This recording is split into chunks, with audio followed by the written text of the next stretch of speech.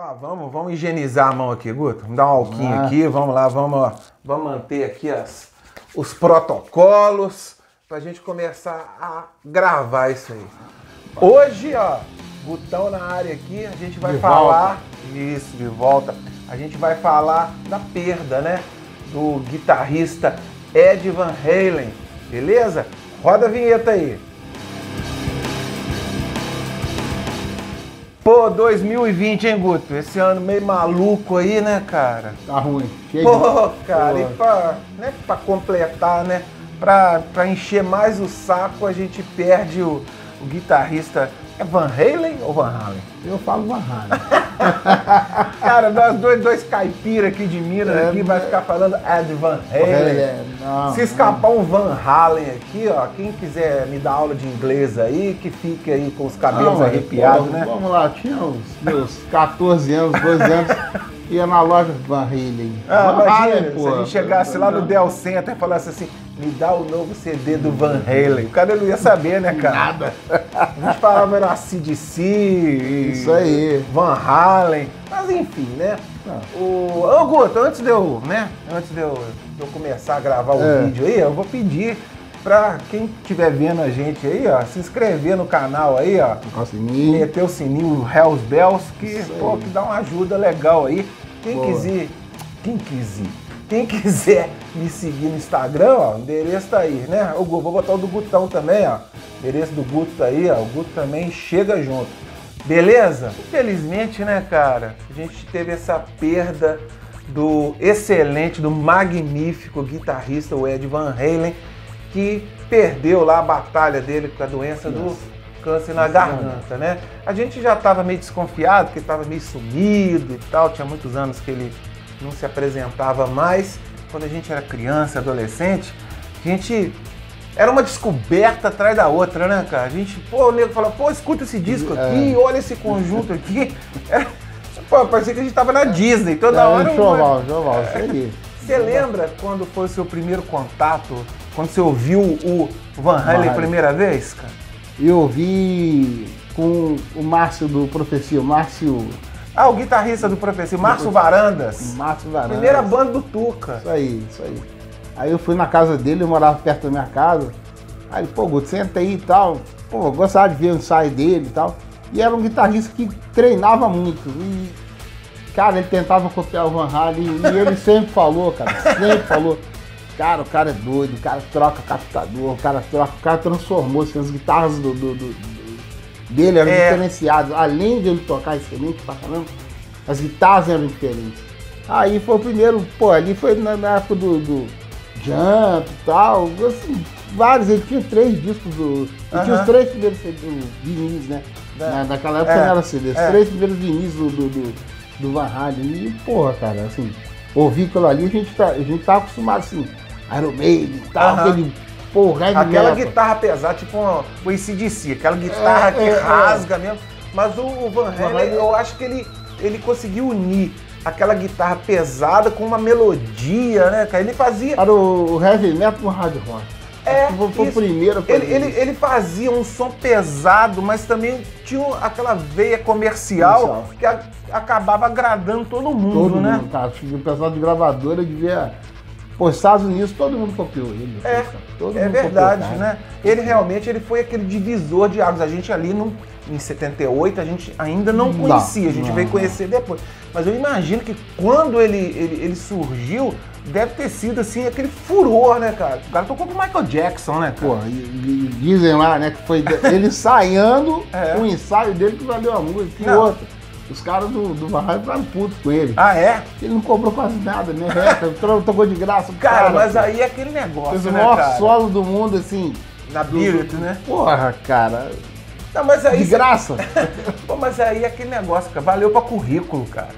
Porra, que corrida. Né? Você imagina, no, no- no disco que mais vendeu na história da música, na música talvez mais legal de todas, o solo é do, do Ed, né, É, cara? E aí o, e o Michael Jackson foi esperto, né? Se você não tinha o heavy metal, você tinha o Michael Jackson todo mundo, né? Ninguém batia o cara. É, Ninguém batia não, o cara. em 84 ele era o maior do mundo, Do mundo, cara. ele era o Pelé. Ninguém conseguia, Guns N' Roses, ninguém chega perto do cara, ninguém chegou perto do cara. É. porra, daqui a pouco ele vai, porra, chama o Ed Van Halen. É. Pô, o cara. E, outro no- e em gênio, 91 no- ele chamou o Slash, né? Ou seja, Slash. o Michael sabia, entendia de Entendia música, o negócio. né? Só Entendi. se cercou de bons músicos. E falar em guitarrista, né? A gente sempre a gente vê os vídeos aí, tudo comparando. É Andy Malmsteen com, com, com, o Van- Halen. Pô, É. o Mal- o Malmsteen é legal, cara, é bacana, mas ele é, muito virtuoso, virtuoso. né? virtuoso. É um cara totalmente diferenciado. É um clássico Aham. heavy metal. É. E o, o ele não é um hard rock, é um, pô, um Ele heavy. pegava na veia, Veia. né, Guto? Você lembra que eu fui uma vez só no show do Wing Mouse que eu tava com você, foi naquele Monster of Rock lá em Ok, São Paulo. ok. Cara, é muito legal, mas chega na terceira, quarta música, aqueles. A gente acaba não aguentando É, mais, né, cara? Fica parecendo mais do mesmo. E o Van Halen não. Se a gente ficar aqui falando do, do Ed Van Halen, a gente só tem coisas boas pra falar dele, né, cara? Ele realmente ele era um, um- um músico excepcional, o cara tocava lá baixo, ba- bateria, diz que ele tocava também muito bem, É, teclado. O, teclado, a gente de falar, te- pô, um baita tecladista. Assim, o arranjo dele é legal. Tem o irmão, né? Pô, é de família, né? O irmão dele, o Alex, era o baterista, Baterista. E agora, no final da carreira, o gordinho lá, o filho, Filho. dele, foi polêmico a troca com o Michael Anthony, mas É. ele colocou o filho Não. dele lá, cara. Tava pô, tocando, não, É. o cara não fez músicas igual o Anthony, mas né? É, mas ele segurou. segurou, o back Segurou, vocal, né? Mas enfim, então a gente falou do guitarrista, né? Da, a banda era o guitarrista, o baterista e o baixista. Mas agora que eu quero, enfim, dar uma polemizada aqui, Guto. Vamos chegar num consenso ou não? Quem foi o melhor vocalista da banda? Muitos acham que foi o David Roth, outros aqui acham que foi o Sammy Hagar. Mas assim, você crava mesmo que o Sammy Hagar foi muito melhor do que o David? assim, são épocas diferentes, né? São épocas diferentes. O som com David Roth no começo era um som até, que a gente também tá falando desse hard rock, era um hard rock um pouco mais pesado. O comercial daquela época, é um, até 1980 ali, é aquele som, tal, tá, tem aquele divisor. Quando entrou o Sammy Hagar, o Sammy Hagar também já vinha de uma carreira É, já era um cara lá, né? porra, os Estados Unidos era o cara, era É. o cara. E você vê, se você buscar aí no YouTube, alguma coisa assim, você vê os vídeos do Sam Hagen, ele trouxe muita coisa pro, pro, pro Van Halen. Acho que o Van Halen escolheu o cara assim, ele deve ter feito a seleção, porra, escolheu... Tocava a- guitarra também, né? É, tocar guitarra, é muito bom guitarrista. E eu acho ele um vocal dele, cara, perfeito, cara. Assim, até hoje, É. você vê os vídeos do cara, o cara tá velho, o cara bebeu todo. Não, o cara abre uma fábrica de tequila Tequila. e continua cantando do Continua a mesmo mesma jeito. coisa. Assim, eu prefiro o, o, o Sammy Hagen, mas fico dividido, mas Sammy Hagen é bom, cara. Eu acho pô, excelente vocalista, Entendi. cara. Se fosse ali num par ou ímpar, Porra, não tinha no futebol. É, Eles começaram lá com o David, a carreira começou muito bem com, com o David. Eu acho que eles têm esse mérito de. O David tem esse mérito. Começou com ele, né? Com cara? ele, com Começou com ele. A gente nunca pode dizer, pô, será que se tivesse começado com, com o Sammy, o negócio ia, ia ficar do mesmo jeito? A gente não, não sabe, É. né? A gente não sabe o que ia acontecer. Só que o Sammy, olha só, ele teve a tarefa ingrata de substituir e, pô, mandou bem demais, né? Eu Ah. acho que o Sammy tem todos esses méritos de gravar bons discos, de ser excelente vocalista e segurar a peteca de quando há uma troca de vocalista é sempre pesado, pesado, né, pesado. Sempre complicado. Mas- Você pode ver todas as trocas de vocalistas aí são É meio difícil. traumáticas, né? E ele segurou a onda. são poucas bandas, é Iron Maiden, CDC, são poucas. Ah, não são poucas. São poucas. São poucas, é. Poucas que, que deram Eles certo. trocam o vocal e o negócio, por exemplo, o, Bla- o Saba. Eles, quando o Ozzy saiu e entrou o Dio pra gravar o Heaven and Hell, a banda meio que foi quase outra, né? É, é. Apesar do Dio cantando as músicas do Ozzy, é uma coisa de doido, né? Mas isso aí é outro, É outro papo. A gente gravou, né? A gente gravou um sábado com, com o O Dio, que eu vou deixar o link aí, ó. Boa. Pô, que ficou legal pra caramba. Muito Mas bom. enfim, na volta do, do, do Van Halen em 2012, ele acabou voltando com o David, cara, que gravou aquele disco lá que começa com Tattoo, esqueci o nome do disco, eu vou botar o disco aí, a capa aí. E acabou terminando a carreira com o David, cara. Ele começou com o David, passou com o Sammy e encerrou de forma brilhante com, com, com, com o David Roth. Que já não tinha mais aquela performance, não tinha aquele cabelão, ele estava um cara mais contido, É. mas ele continuou cantando pra caramba, cara. Pô, a voz dele ainda estava bem marcante, né, cara? Mas também teve boatos, eu não sei também, né? são fontes assim que a gente, a gente ouve, olha ali na internet, é o tal do fake news, né? Ele tentou uma, uma, uma aproximação com, com, com Com o Sammy. Sammy Hagar antes de, de- dessa, dessa formação. É. Mas acho que por causa do Anthony, porque ele não aceitou lá, dividir a grana, não queria ser É, um que é membro. o tal do dinheiro, né, É, cara? não ser o membro. Ah, você, você vai ser o. Como é contratado? Ele- pô, o cara era membro do, do, do Van Halen. Não, aí ele não topou. E você vê que E talvez Hagar é rola, muito colado. rola mesmo essa. essa eh, o Sammy tem aquele sangue do Van Halen que ele, pô, a banda dele, cara, ele, ele é quase um Van Halen, né, cara? Não, quase uma Halen. Pô, tá o Michael Anthony, tá o cara do. do, do- o filho, Filho do, do- filho do- do, do, do- Borra, né? John Borra John Bonham. na, na bateria.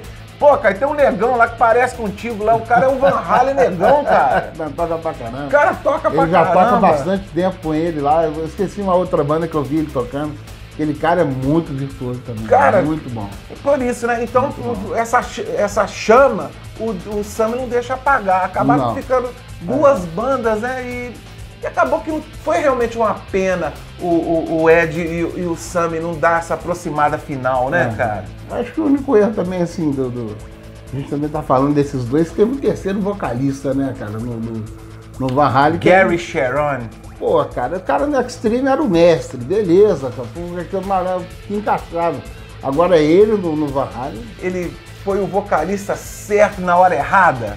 Ele tinha um timbre parecido com, com os dois, né? an- Antecessores, é o David e o Sunny. Mas o, disco foi ruim, né, É, cara? O disco foi ruim. Eu cheguei a ver um vídeo, cara, que com o Gary Cherone no- nos vocais, ele levou os clássicos na boa, cara. Não, não é a mesma coisa ainda. Ele era esforçado, né? Ele era É um esforçado. rebolation, né? Pô, mas que é mais reboleja que o David, cara. Não, aí não, não. Muita gente. Aí também, pô, agora você falou esse negócio. David Roth também, assim, cara, todo mundo copiou o cara, cara. Todo mundo. Todo verdade. Mundo. Assim, o Sammy Hagar ninguém copiou. O cara tem um puta vocal. Agora, David Roth, todo mundo Eu acho mesmo quis que copiar o cara. que o David ele foi assim aquele aquela inspiração do glam metal, né, É, cara? Foi, foi. Aquelas daí- bandas lá depois que vieram todas Todas. daquele jeito lá, Todas. com muito é, com muita cor, com muita oncinha, aquela fase Kiss Animalize, eu acho que eles beberam da água. é. Eles beberam da água do David Roth, né? Pô, deu certo, o cara vai dar certo comigo. É, é verdade. Tanto é que depois o David, a carreira solo dele, cara, ele fez muito sucesso. Uhum. O guitarrista dele era o Steve Vai. Não, é, também tem isso também. É outro cara de carreira que você mandou bem agora. A carreira dele, o disco dele, são bons pra caralho. Ô Guto, então pra gente não ficar em cima do muro, se, for- se fosse, né, se voltasse, se você fosse o, o Ed Van Halen, se você fosse escolher, o cara, eu, eu vou escolher o vocalista aqui pra banda, você escolheria o David Roth ou o Sammy Hagar? Sammy Hagar. Cara, eu, vou- eu, eu, colhe- eu- ele era meu xará, né? Então eu escolheria o David. Eu- cara, eu acho que isso aí vai ser igual né, que a Tostines é mais. é, vende mais que é mais fresquinho, é fresquinho que vende mais. É, tá aí uma, uma disputa que eu acho que ninguém vai chegar num consenso, né, É cara? foda. Mas que a gente tem em comum aqui, que a gente gosta da carreira do Ed Van Halen, da banda Van Halen, ó. É. Por inteiro, né, cara? Por Pô, ele é um cara que vai fazer muita falta, né, cara? A gente ficou de Porra. fato muito chateado com essa perda aí, né, cara? Era a vida longa que a gente esperava, a gente espera o, o Peter Pan, o cara continua, mas não, porra, cara, a vida é assim. É verdade, cara. Infelizmente, porra, é uma perda irreparável pra, pra música, pra todos. Mas aí, pô, tá aí, cara, ele deixou O legado, o né? legado aí, saudades do cara. É, o artista ele vai, mas a obra fica, Fica, né, cara? fica. Isso que é o legal pra caramba. É. Pô, Gutão, obrigado, cara. Eu acho que a gente não conseguiu chegar naquele consenso, mas valeu aqui o bate-papo e fazer essa homenagem aí a esse gênio da música que a gente teve a sorte de acompanhar na nossa infância, adolescência, vida adulta e já ficando velho, né, cara? Isso É. que é legal pra A caramba. única coisa que faltou a gente ter visto um show do cara, né? Pô, ele não veio no Brasil, cara. Lá em 83 a gente era muito moleque, a gente dependia lá, pô. Imagina, a gente comendo. Eu em 83, pô, Não, poxa, não dava, não. Pô, tinha. A gente tava lá preocupado com a. Fala a idade, não. Não É falar a idade, mas a gente era bem pequenininho, mas curtia, né? Enfim, a gente. Né? A gente não pôde ver ao vivo esse grande ídolo aí. Ô, Guto, obrigado, cara. Valeu obrigado mesmo. você. Né? Quando eu me despeço também, eu volto a fazer aquele pedido aí. Quem puder aí me dar aquela moral aí, ó, escreve lá no Papo pá. Sininho, Hells Bells. Brevemente, canal do Gutão, né? Vai vir aí, JF, ó. Ó, Espera aí que tem novidade. imagina, pô, o Gutão vai chegar aí com o canal aí, ó. Vai chegar arrebentando, né? Teaser aqui, né? Vai chegar junto. E ó, meu endereço no Instagram tá aí, quem quiser lá me xingar. Não, pô, gente, me xinga. Calma, gente. É só opinião, né, Guto? Porra, cara. Cara, que mimimi no mundo cara. do metal aí, cara. Nego barbado, velho aí, com ciúme, cara. Quem é você? Pô, É, não me adianta eu também me chamar de negão, não. É negão também, ó. Não, e ali, cara, eu fiz o vídeo do Iron Maiden, Guto, nego assim, ah, quem é você com esse videozinho querendo ser maior do que o Iron Maiden? Olha, Pô, cara, não, esse é o... não. Porra, a gente é fã dos caras, a gente Porra. é fã. Que nem aqui, a gente tá falando de dois puta vocalistas em cima de um grande Ah, guitarrista. não, ele já vai falar, pô, esse gordo aí não entende nada aí, falando que o, que o, que o David é melhor. Cara, pre- prepara, tá? Que- Esquenta, não, eu tô... Não sou Maju, não, mas sou Gutão. Não, e o seguinte, só pra finalizar.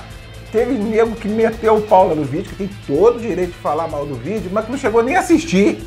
Só pelo título lá, nego já fala, você tá errado. Eu falo, pô, você viu o vídeo? Não, cara. Aí depois a pessoa até assistia e depois até falava comigo, tem essa parte legal também. Pô, Eduardo, eu acabei vendo o vídeo lá, Desculpa aí. né? Foi mal e tal. Tranquilo. É isso, Mas cara. curte o canal do cara aí que vale a pena. É, eu acho legal, aí, cara. Não custa nada aí. Dá aquele joinha lá. Ô, Guto, obrigado por receber né, na sua casa. O melhor de tudo desse bate-papo foi te reencontrar, né? Tamo aí. Ó, Que meu importa. amigaço de quase 40 anos. Tamo aí. Mais de 40 anos, né, cara? Não fala a data Nossa não, porra. senhora, cara, a gente tá ficando velho demais da conta. Abraço, gente, ó. Fui!